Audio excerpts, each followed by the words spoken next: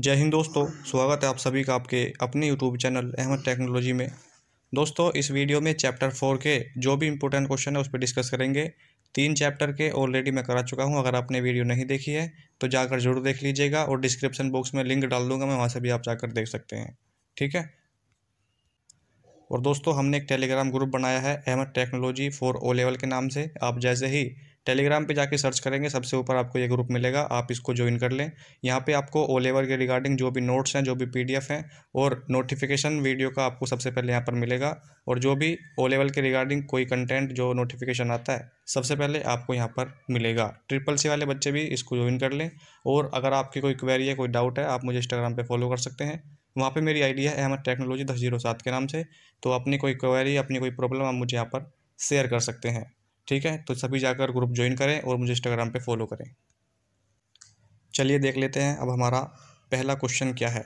अपने एलिमेंट के साथ लिब्रो ऑफ़िस कैल्क स्प्रेडशीट की व्याख्या करें। जो स्प्रेडशीट होता है, जो इसको कैल्क बोलते हैं, उसकी आपको यहाँ पे व्याख्या करनी है एक्सप्लेन आपको यहाँ पे करना है। लिब्रो ऑफ़िस कैल्क भी माइक्रोसॉफ्ट ऑफ़िस में एक्सेल की तरह ही एक स्प्रेडशीट प्रोग्राम है, जिसका प्रयोग डाटा को कैलकुलेट एनालाइज और मैनेज करने के लिए किया जाता है। लिब्रोफिस कैल्क में वर्कशीट के अंदर मैक्सिमम दस लाख अड़तालीस हज़ार पाँच सौ छिहत्तर रो और एक हज़ार चौबीस कॉलम होते हैं। इसका extension name dot O D S होता है। अगर यहीं पे बात करें लिब्रो ऑफ़िस राइटर की तो उसका एक्सटेंशन नेम क्या होता है? डॉट ओ डी टी होता है। और बात करें अगर लिब्रो ऑफ़िस इम्प्रेस की तो उसका extension name dot O D P होता है। ये आपको याद रखना है। एग्ज़ाम में किसी का भी एक्सटेंशन नेम पूछ सकता है भाई। ठीक है? इनके एक्सटेंशन नेम आपको याद होने चाहिए। अब इसके दोस्तों, एलिमेंट क्या है वो हम देख लेते हैं। सबसे पहला जो है, वो है workbook, worksheet, row, column, cell, formula और फ़ंक्शन। ये सभी क्या है, इसके एलिमेंट है भाई। ठीक है, क्या है? एलिमेंट होते हैं। क्वेश्चन नंबर दूसरा हमारा है, सेल रेफरेंसिंग को परिभाषित करें। सेल रेफरेंसिंग के विभिन्न प्रकारों को उदाहरण सहित यहाँ पे आपको समझाना है, एक्सप्लेन करना है। देखिए, जब आप सेल एड्रेस को सेल के एक्सेल के अंदर एक्सेल के किसी फ़ंक्शन में प्रयोग करते हैं, तब उस सेल एड्रेस को उस फ़ंक्शन में का सेल रेफरेंस कहा जाता है। जैसे ये फॉर्मूला आप यहाँ पर देख सकते हैं equal sum bracket on A one colon C ten colon यहाँ तक ये जोड़ेगा ए वन से सी टेन तक के जो भी नंबर होंगे, सबको जोड़ के आपको शो करा देगा। ये इसका फॉर्मूला होता है। और एक बात और याद रखना एक्सेल में जो भी फॉर्मूला स्टार्ट होता है इक्वल से होता है, बराबर से होता है, ये एग्ज़ाम में क्वेश्चन आपके पूछा जा चुका है, ठीक है? जो भी फॉर्मूला होता है भाई इक्वल से शुरू होता है। एक्सेल में सेल रेफरेंस तीन प्रकार के होते हैं। पहला होता है एब्सोल्यूट सेल रेफरेंस इस प्रकार के सेल रेफरेंस में कॉलम नेम और रो नंबर दोनों के पहले डॉलर साइन का यूज़ किया जाता है। एग्ज़ाम्पल के तौर पर आप यहाँ पर देख सकते हैं। उसके बाद आता है रिलेटिव सेल रेफरेंस इस प्रकार के सेल रेफरेंस में डॉलर साइन का यूज़ नहीं किया जाता है, प्रयोग नहीं किया जाता है। एग्ज़ाम्पल के तौर पे आप देख सकते हैं bracket C one colon C ten bracket off ठीक है? ये हो गया हमारा रिलेटिव सेल रेफरेंस तीसरा है दोस्तों, मिक्स्ड सेल रेफरेंस। इस प्रकार के सेल रेफरेंस में या तो कॉलम या रो दोनों में से किसी एक के साथ डॉलर साइन का यूज़ किया जाता है। एग्ज़ाम्पल के तौर पर आप यहाँ पर देख सकते हैं, ए वन के साथ ही केवल इसका यूज़ किया गया है, सी के साथ यहाँ पर यूज़ नहीं किया गया है भाई, ठीक है? तीसरा क्वेश्चन हमारा है दोस्तों what is array formula array formula क्या है? ये मोस्ट इंपॉर्टेंट क्वेश्चन है भाई। एरे फार्मूला अपने आप में कोई फार्मूला नहीं होता। एरे फार्मूला किसी अन्य फार्मूला के साथ मिलकर उस फार्मूले को एडवांस बनाता है। यह फार्मूला सभी मल्टीपल रेंज पर एक साथ काम करता है, जिन पर हमें दो या दो से अधिक फार्मूलाज का प्रयोग करना पड़ता है। उसी को एरे फार्मूला हम बोलते हैं। Question four what are chart chart क्या है भाई? चार्ट क्या है? पाई चार्ट बनाने की प्रक्रिया में संक्षेप में समझाइए, जो भी पार्ट पाई चार्ट बनाने की प्रक्रिया उसको आपको यहाँ पे एक्सप्लेन करना होगा। चार्ट चार्ट क्या है वो देख लीजिए। दोस्तों, चार्ट क्या है, पहले आपको ये समझना होगा।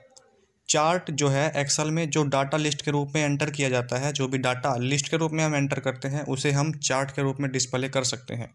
चार्ट के रूप में डाटा इम्प्रेसिव इंटरेस्टिंग और समझने में आसान होता है भाई, ठीक है? इसे इससे डाटा को एनालिसिस करना और उसे कंप्यूट कंपेयर करना आसान होता है भाई, ठीक है? पाई चार्ट क्या है? ये समझ लेते हैं। पाई चार्ट में आपका डाटा गोल आकार में दिखाई देता है। गोल आकार में आपका जो डाटा है वो दिखाई देता है। इसके अलग अलग सेक्शन अलग अलग सेक्शन में आपकी डाटा सीरीज़ दिखाई देती है।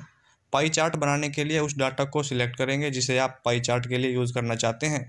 और फिर टूल बार में इंसर्ट टैब को सिलेक्ट करेंगे। टूल बार में जाके इंसर्ट टैब पर आपको क्लिक करना होगा। ठीक है? अब इंसर्ट टैब में चार्ट ग्रुप में जाकर पाई चार्ट बटन पर क्लिक करेंगे और इसके बाद ड्रॉप डाउन मेनू में से किसी एक चार्ट जैसे टू या फिर थ्री पर क्लिक करेंगे। ठीक है? ये आपका क्वेश्चन नंबर फोर पूरा हुआ। क्वेश्चन नंबर फाइव ये लास्ट क्वेश्चन है। स्प्रेडशीट सॉफ्टवेयर के फ़ंक्शन को परिभाषित करें और किन्हीं पाँच प्री डिफाइंड फ़ंक्शन का वर्णन करें। ठीक है भाई? ये पांचवा क्वेश्चन है लास्ट क्वेश्चन है इंपॉर्टेंट क्वेश्चन है। स्प्रेडशीट में फ़ंक्शन जो है बुलेट इन कमांड की तरह होते हैं, जो स्प्रेडशीट सॉफ्टवेयर में पहले से ही उपलब्ध होते हैं। इसलिए इन्हें प्री डिफाइंड फ़ंक्शन भी कहा जाता है। फ़ंक्शन कोड का फ़ंक्शन कोड का ही एक हिस्सा होता है, जिन्हें एक्सेल में स्प्रेडशीट एप्लीकेशन के साथ डिज़ाइन किया जाता है। इन फ़ंक्शन का प्रयोग विभिन्न प्रकार के मैथमेटिकल, लॉजिकल और फाइनेंशियल कैलकुलेशन के साथ किया जाता है। एक्सल फ़ंक्शन को हमेशा पैरेंथिसिस के साथ प्रयोग किया जाता है। इन पैरेंथिसिस के बीच में कुछ प्री डिफाइन एलगुमेंट्स होते हैं जो निर्देशों की तरह काम करते हैं, इंस्ट्रक्शन की तरह काम करते हैं। स्प्रेडशीट सॉफ्टवेयर के पाँच प्री डिफाइंड फ़ंक्शन निम्नलिखित हैं। पहला होता है भाई सम तो उसके बाद होता है इफ़ ठीक है? तीसरा होता है वोल कप होल कप और पांचवा होता है कॉन्स्टेंट्रेट ठीक है भाई? पांचवा होता है कॉनकेटिनेट ये हो गए आपके पाँच इसके फ़ंक्शन प्री फ़ंक्शन ठीक है? तो ये इंपॉर्टेंट क्वेश्चन थे, आपने याद कर लिए होंगे। स्क्रीनशॉट भी आप ले सकते हैं भाई। और भाई सभी बच्चे वीडियो देख रहे हैं, लेकिन यार लाइक कोई नहीं कर रहा है यार। लाइक सभी करें, जो भी वीडियो देख रहे हैं। कंजूसी लाइक करने में बिल्कुल भी ना करें और चैनल को सभी बच्चे सब्सक्राइब करें।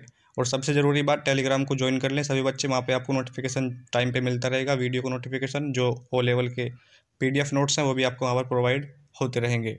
ठीक है दोस्तों तो मिलते हैं अब नेक्स्ट वीडियो में। तब तक के लिए जय हिंद, जय भारत।